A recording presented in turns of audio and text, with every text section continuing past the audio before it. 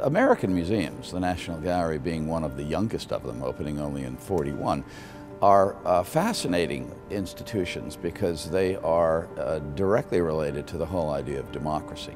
Uh, it is every American's right to a, a good public education, and mu museums are part of that. Uh, we educate uh, everyone who comes, but we also get an international audience here.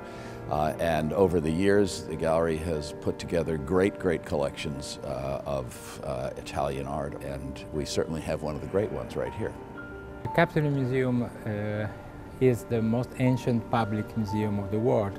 Aphrodite, uh, the, the, Venus or Aphrodite for Greek people from Capitol Museum is the most famous uh, artwork of this museum.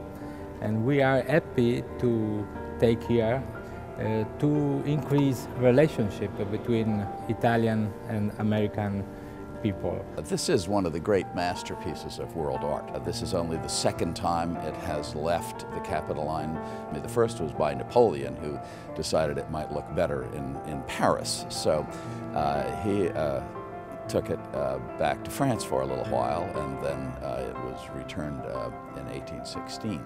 Uh, other than that, it has never left Rome.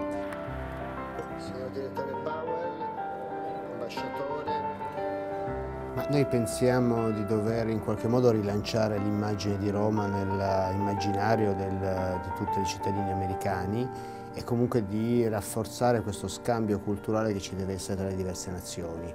E quindi per noi la Biennale Capitolina è una, in qualche modo uno strumento per comunicare l'immagine di Roma, ma è anche un modo di manifestare l'amicizia che c'è fra Roma, Washington e tutte quante le altre città dove saranno portate altre opere d'arte negli Stati Uniti.